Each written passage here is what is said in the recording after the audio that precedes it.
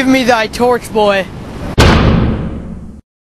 Hence and stand aloof. Nah, yet put it out, for I would not be seen. Um, over uh, yon yew tree lay thee all along, holding thine ear close to the hollow ground, so shall no foot upon the churchyard tread. Whistle then to me, when thou hearest something approach. Do as I bid thee, go. I'm almost afraid to stand alone here in the churchyard, yet I will adventure.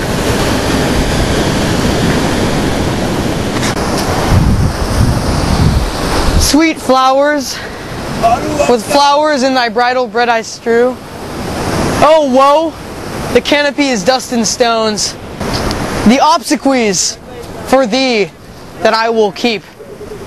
Nightly shall be to strew thy grave and weep. Boy doth whistle something approach. What cursed foot wanders this way tonight? To cross my obsequies and true love's right.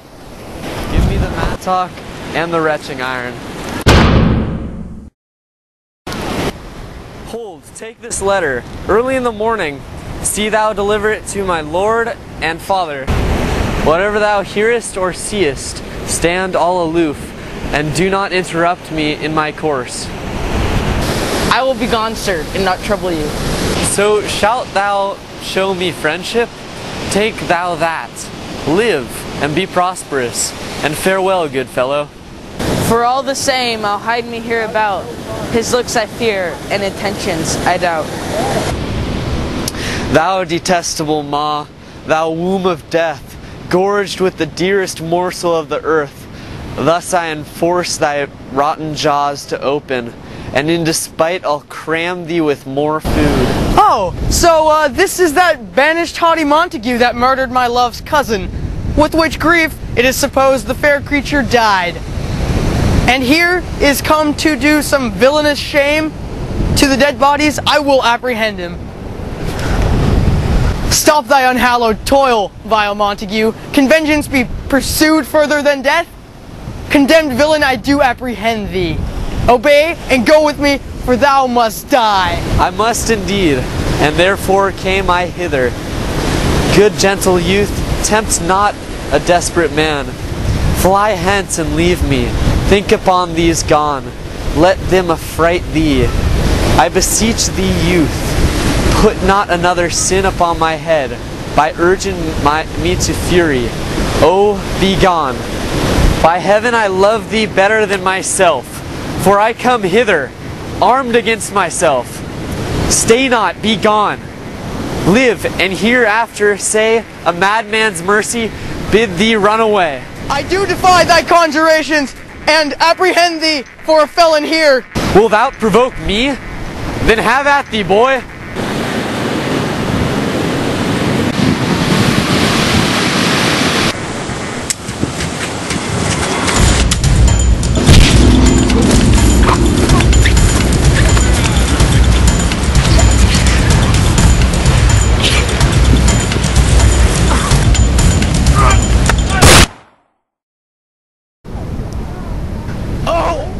I'm slain. If thou be merciful, open the tomb and lay me with Juliet. In faith I will. Let me pursue this face. Mercutio's kinman. Noble County Paris. What said my man when my betossed soul? Did I not attend him as we rode? I think he told me Paris should, not, should have married Juliet. Death, lie thou there, a, by a dead man interred.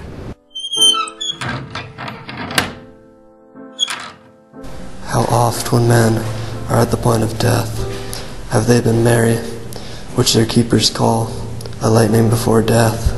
Oh, how may I call this a lightning? Oh, my love, my wife, Death that hath sucked the honey from thy breath. Hath had no power upon thy beauty. Thou art not conquered. Beauty's ensign yet is crimson in thy lips and in thy cheeks. Ah, dear Juliet, why art thou so fair? from this world-wearied flesh. Eyes, look your last. Arms, take your last embrace. And lips, O you, the doors of breath, seal with a righteous kiss.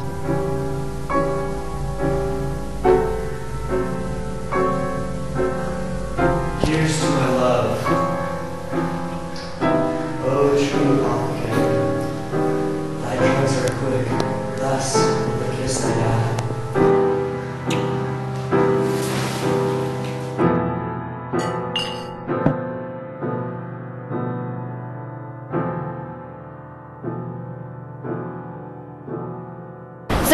St. Francis be at my speed, how oft tonight have my old feet stumbled at graves. Who's there? Here's one, a friend, a one that knows you well. Bliss be upon you, tell me. Good, my friend, what torches yawned and vainly lends its light to grubs and eyeless skulls? As I discern, it burneth in the Capel's monument. It doth so, holy sir, and there's my master, the one that you love. Who is it? Romeo, How long hath he been there? Full half an hour. Go with me to the vault. I dare not, sir. My master knows not, but I am gone hence, and fearfully did menace me with death, if I should stay and look on his intents. Stay then, I'll go alone, for fear comes upon me. Oh, much I fear some ill unlucky thing. As I did sleep under this yew tree here, I dreamt my master and another fought, and that my master slew him. Oh, Romeo, alack, alack! What blood is this which stains the stony entrance of the sepulchre? What mean these masterless and gory swords to lie discolored by this place of peace? Romeo. Oh, pale. Who else? And Paris too? And steeped in blood? Oh, what an unkind hour is guilty of this lamentable chance. The lady stirs. Comfortable friar, where is my lord? I do remember well where I should be. And there I am. Where is my Romeo? I hear some noise. Lady, come from that nest of death, contagion, and unnatural sleep. A greater power that we could contradict has thwarted our intents. Come, come away. Thy husband in thy bosom lies dead. And Paris too. Come, I'll dispose of thee among a sisterhood of holy nuns. Stay not to question, for the watch is coming. Come go, good Juliet, for I dare no longer stay. Go, get thee hence, for I will not away. What's here? A cup closed in my true love's hand? Poison, I see, hath been his timeless end. O churl, drink all and left no friendly drop to help me after. I will kiss thy lips. Haply some poison yet doth hang on them to make me die with restorative. Thy lips are warm. Then I'll be brief. O happy dagger, this is thy sheath. There rust and let me die.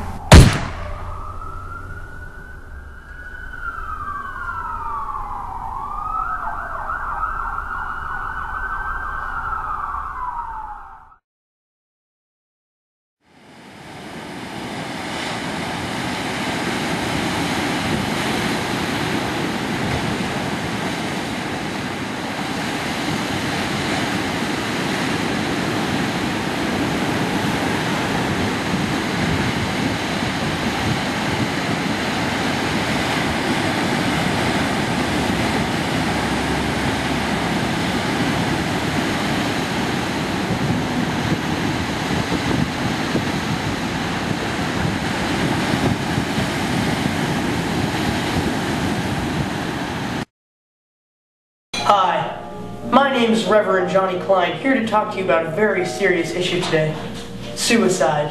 Suicide is not a joke. Suicide claims about 1 million lives per year, not including the 10 to 20 million attempts annually. Now, suicide is about the third leading cause of death for people between the ages of 10 to 24, and the suicide rate for teens has increased by about 300% in the past half decade. And suicide is a permanent and irreversible solution to a temporary problem.